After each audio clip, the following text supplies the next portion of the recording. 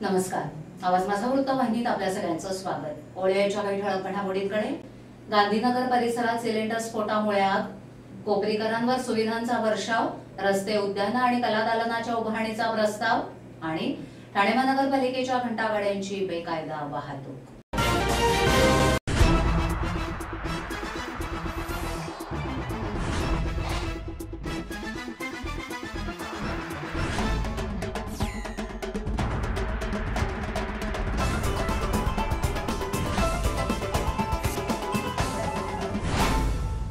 नमस्कार मी गुरुनाथ सुभेदार. मी राधिका गुरुनाथ सुभेदार. मी शनाया. पुढे बोल पुढे बोल. बोल बोल. बोलू? हा बोल ना. एक एक- बोल की. एक- एक- एक- हा? एक- घाबरते का तुला? एक मिनिट भांडू नका. नाही काय यांचं हे असंच चालू राहणार. पण मला काहीतरी महत्वाचं सांगायचं आहे दिवस कसे पावसाळ्याचे मस्त आहेत तर आपण सगळेच एन्जॉय करतोय. पण तरी सुद्धा जर तुम्ही स्वतःची काळजी घेतली नाहीत तर तुम्हाला हॉस्पिटलच्या बेडवर दिवस काढावे लागतील. तुम्हाला सुद्धा डेंग्यू चिकनगुनिया हिवताप यासारखे आजार होण्याची शक्यता आहे. हा पण काळजी करू नका. तुम्ही तुमच्या सोसायटीचा व आजूबाजूचा परिसर स्वच्छ ठेवा. उघड्यावरचं खाणं टाळाच. पाणी उकळून प्या. घराच्या आजूबाजूला पाणी साचू देऊ नका. झाडांच्या कुंड्यांखालील प्लेटमध्ये पाणी साचू देऊ नका. हा तर ही सगळी काळजी घ्या आणि हिवताप डेंग्यू चिकनगुनियापासून स्वतःचं संरक्षण करा. आणखी एक महत्वाची गोष्ट. जर समजा एखादा रुग्ण किंवा ही लक्षणं असलेली एखादी व्यक्ती आढळली तुम्हाला तर लगेचच महानगरपालिकेच्या दवाखान्यात जाऊन एखाद्या वैद्यकीय अधिकाऱ्याशी संपर्क साधा. आणि ही दिलेली माहिती स्वतःपुरती न ठेवता तुमच्या ओळखी पाळखीच्यांना इतरांना सुद्धा द्या. पावसाळ्याचा आनंद घ्या निरोगी राहा. स्वच्छ राहूया स्वस्थ राहूया. निरोगी शहर बनवूया.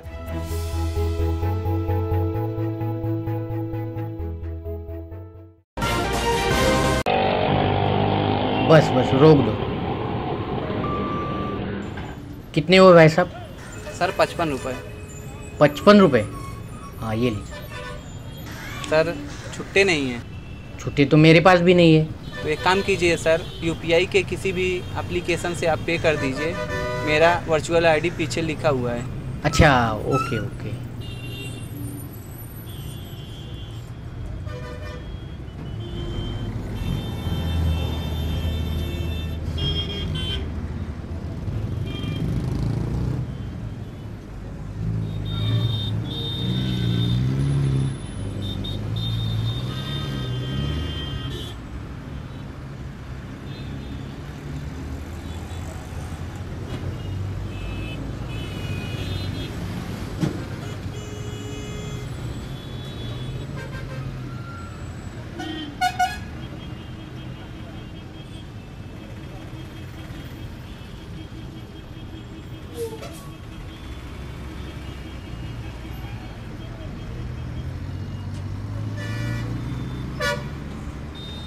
हम यूपीआई को सपोर्ट करते हैं। मेरा देश मेरा देश मेरा देश मेरा देश बदल रहा है आगे बढ़ रहा है।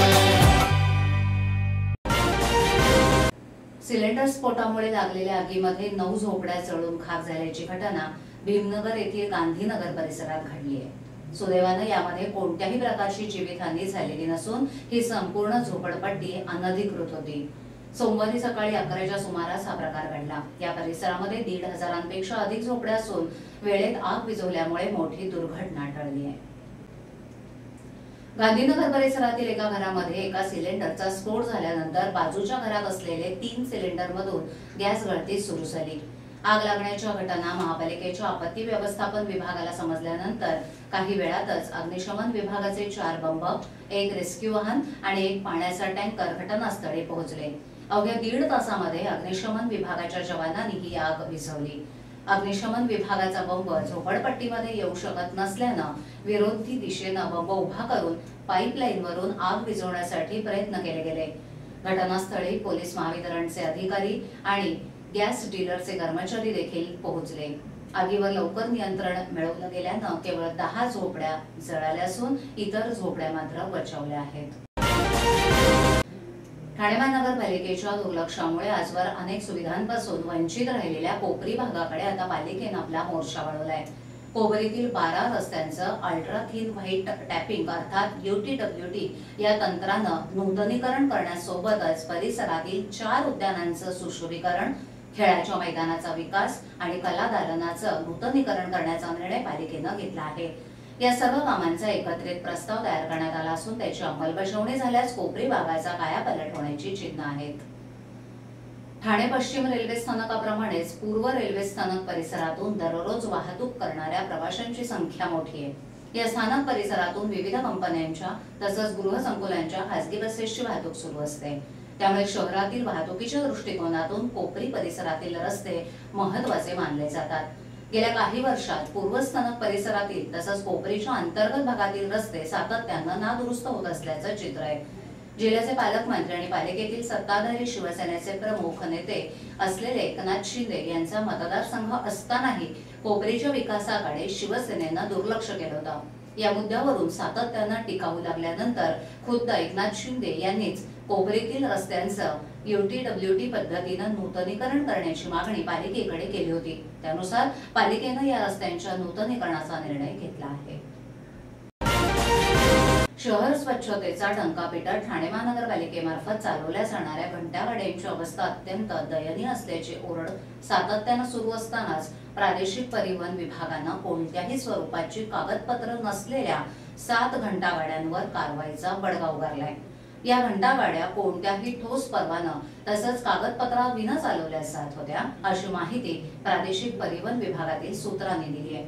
तसंच वाहनांमधून प्रदूषण होऊ नये यासाठी आवश्यक असलेली कागदपत्रही चालकांकडे आढळून आली नाहीत. ठाणे शहरातील बहुतांश कचरा हा घंटागाड्यांमार्फत उचलण्यात येतो. कचरा वाहतूक आणि सफाईची शहरातील यंत्रणा अत्यंत सदोष असल्याच्या तक्रारी सातत्यानं पुढे आल्या असताना पालिकेच्या घनकचरा विभागाचं त्याकडे दुर्लक्ष होत असतं. विशेष म्हणजे ज्या माध्यमातून या कचऱ्याची वाहतूक होते त्या घंटागाड्यांची दुरावस्था झाल्याच्या तक्रारी यापूर्वीही पुढे आल्या आहेत.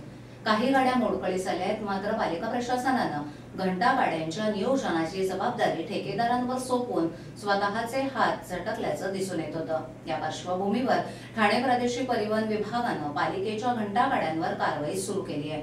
कारवाई केलेल्या गाड्यांच्या ठेकेदारांना आवश्यक त्या कागदपत्रांची पूर्तता करण्यासाठी सात दिवसांची मुदत देण्यात आली आहे.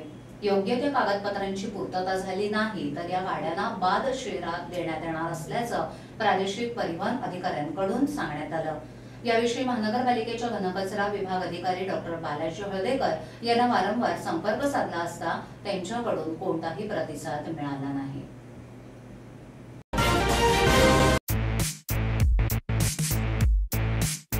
ये ये ओला आणि सुका कचरा करू वेगळा वेगळा.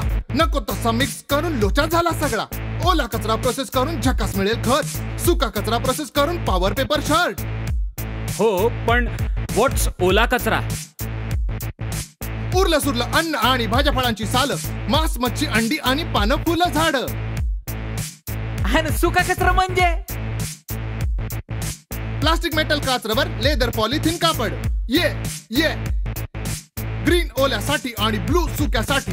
ग्रीन ओल्यासाठी आणि ब्लू सुक्यासाठी. डब्यांचे हे रूल्स पाळू आपल्या फ्युचरसाठी. रिड्यूस रियूज रिसायकलचा फंडा आहे बेस्ट कारण माझ्या मित्रांनो नथिंग इज वेस्ट ओला आणि सुका कचरा वेगवेगळा ठेवा आणि बनवा ठाणे शहराला स्वच्छ सर्वेक्षण दोन हजार अठरा मध्ये नंबर वन.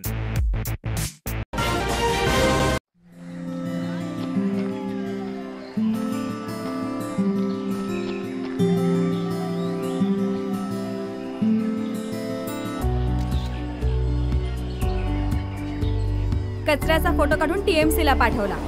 एरवी लाईकसाठी दहा फोटोज पोस्ट करतो. तर मग क्लीन ठाण्यासाठी एक फोटो का नाही? After all I love my city download करा स्वच्छता ऍप तुम्हाला कचरा दिसल्यास लगेच फोटो काढून अपलोड करा. आणि बनवा ठाणे शहराला स्वच्छ सर्वेक्षण दोन हजार अठरा मध्ये नंबर वन ठाणे शहरात क्लस्टर योजना मंजूर झाल्यानंतर पालिकेनं तिच्या यशस्वीततेसाठी जोरदार हालचाली सुरू केल्या आहेत. यासाठी पालिका प्रशासनासह लोकप्रतिनिधीही आग्रही आहेत. पहिल्या टप्प्यात लोकमान्य नगर राबोडी वागळे स्ट्रेट भागात या योजनांचा नारळ फोडला जाणार असल्याचं पालिका सूत्रांनी सांगितलं. क्लस्टर योजनेसाठी विशेष महासभेची मागणी काही लोकप्रतिनिधींनी केली असता तरी देखील या विषयावर सकारात्मक कारवाई सुरू असल्यानं ही विशेष सभा बोलवण्याची गरज नसल्याची भूमिका प्रशासनानं मांडली आहे. पहिल्या टप्प्यात मिळालेल्या माहितीनुसार वागळे स्टेट लोकमान्यनगर आणि राबोडीमध्ये क्लस्टरचा मुहूर्त साधला जाणार आहे. याबाबतचे सर्व सोपस्कार पूर्ण झाले असून त्याला यशही मिळालं आहे. क्लस्टर योजनेमुळे मुंबई सोडून उर्वरित एमएमआरडीए क्षेत्रात एक्कावन्न टक्के रोजगाराची संधी उपलब्ध होण्यास मदत होणार आहे. दरम्यान या योजनेमुळे धोकादायक अनधिकृत इमारतींना मोठ्या प्रमाणावर दिलासा मिळणार आहे. विधी आणि न्याय विभागाअंतर्गत घेण्यात आलेल्या स्वीय सहाय्यक या पदाच्या परीक्षेत डोंबिवलीच्या प्रसन्न रोजेकर यानं भारतात सर्वप्रथम येण्याचा मान पटकावलाय. रात्र महाविद्यालयातून पदवीचं शिक्षण घेणाऱ्या प्रसन्नच्या या यशानं डोंबिवलीच्या शिरपेचात मानाचा तुरा खोला गेलाय. प्रसन्नानं वीस शनिवारीला पुण्यात ही परीक्षा दिली. संपूर्ण भारतातून विद्यार्थी परीक्षेसाठी आले होते. ही परीक्षा मराठी भाषिक विद्यार्थ्यांसाठी होती. या परीक्षेला सदतीस विद्यार्थी बसले होते. प्रसन्नानं यात पंच्याण्णव पूर्णांक पाच टक्के इतके मार्क्स मिळवले. या परीक्षेची माहिती दहा जानेवारीला प्रसन्नाला मिळाली. त्याचा फारसा कुठे गाजावाजा नसल्यानं परीक्षेला बसणाऱ्या विद्यार्थ्यांची संख्या फारशी नव्हती. स्वीय सहाय्यक पदाच्या परीक्षेसाठी शंभर शब्द प्रति मिनिट लघुलेखन येणारा विद्यार्थी असणं आवश्यक होतं. त्यासाठी प्रसन्नानं साठ ऐंशी शंभर आणि एकशे वीस शब्द प्रति मिनिटांच्या परीक्षा दिल्या होत्या. या परीक्षा पास होण्यासाठी साधारणपणे दोन वर्षांचा कालावधी लागतो असं प्रसन्न सांगतो. या परीक्षेसाठी प्रसन्नला दहा मिनिटात संवाद दिला होता. हा संवाद अर्थात पंचेचाळीस मिनिटात एक हजार शब्द टाईप करायचे होते. या परीक्षेतून तिघांची निवड करण्यात आली पण प्रसन्न प्रथम आल्यानं नोकरीची पहिली संधी त्याला मिळणार आहे आणि प्रसन्ननं मिळेल ते पोस्टिंग स्वीकारणार असल्याचं सांगितलं. प्रसन्नाचं शालेय शिक्षण चोंदळे हायस्कूल इथून झाले. तर स्वामी विवेकानंद रात्र महाविद्यालयातून तो वाणिज्य शाखेच्या तृतीय वर्षाला शिकतोय. त्याचे वडील तुळशीदास हे रिक्षा चालक असून आई संगीता गृहिणी आहे. त्याला एक मोठा भाऊ आहे. प्रसन्नाला लघुलेखनातच पुढे करिअर करण्याची इच्छा आहे. तो एमपीएससी ची ही परीक्षा देणार आहे. ठाण्याचे आयुक्त संजीव जयस्वाल यांच्या बदली सत्रावरून सध्या विविध वक्तव्य घडामोडी सुरू आहेत. त्यानंतर मात्र पुन्हा आयुक्तांच्या मुदतवाढीसाठी सामान्य ठाणेकर एकवटलेत. याबाबत चर्चा करण्यासाठी ठाणे सिटीजन फाउंडेशनच्या वतीनं आणि इतर संस्थांच्या सहकार्यानं रविवार पंचवीस फेब्रुवारी रोजी ठाणेकरांची बैठक आयोजली होती. रस्ता रुंदीकरण अनधिकृत गाळे हॉटेल्सवर कारवाई करण्याबाबत ठोस भूमिका घेणारे आयुक्तांच्या मुदतीवाढीसाठी ठाणेकरांनी सह्यांची मोहीम घेतली होती. आतापर्यंत सुमारे एक लाख ठाणेकरांनी सह्या देऊन त्याला उत्तम असा प्रतिसाद दिलाय. अशा वेळी जयस्वाल यांची बदली न होता त्यांनी ठाण्यात आणखीन काही काळ राहून विकास कामं पूर्ण करावीत अशी बहुतेक ठाणेकरांची इच्छा आहे. त्या दृष्टीनं सर्वसामान्य ठाणेकर म्हणून आपल्याला काही पर्याय सुचवता येतील का? किंवा ठाणेकरांच्या त्यांच्याकडून आणखीन काय अपेक्षा आहेत? यावर बैठक झाली.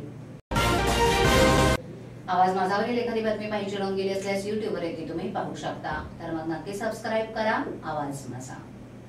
अच्छा ठळक घडामोडी शेवटी पुन्हा एकदा. गांधीनगर परिसरात सिलेंडर स्फोटामुळे आग कोपरीकरांवर सुविधांचा वर्षाव रस्ते उद्यानं आणि कलादालनाच्या उभारणीचा प्रस्ताव आणि ठाणे महानगरपालिकेच्या घंटागाड्यांची बेकायदा वाहतूक. आपल्या विभागातील काही सूचना अथवा समस्या असल्यास त्यांच्यापर्यंत जरूर पोहोचवा. आम्ही तुमचा आवाज नागरिकांपर्यंत नक्की पोहोचवू. आम्हाला संपर्क करण्यासाठी आमचा पत्ता आवाज माझा एकशे तीन साईल एक आदर्श नगर कोलबाट रोड ठाणे पश्चिम. आमचा दूरध्वनी क्रमांक सात सहा सहा सहा दोन एक तीन एक चार एक. आमचा ईमेल आय डी आवाज माझा dot TV news at Gmail dot com तर मग पुन्हा भेटू याच वेळी. याच ठिकाणी काही नवीन घडामोडींसह आवाज माझा वृत्तवाहिनी तोपर्यंत नमस्कार.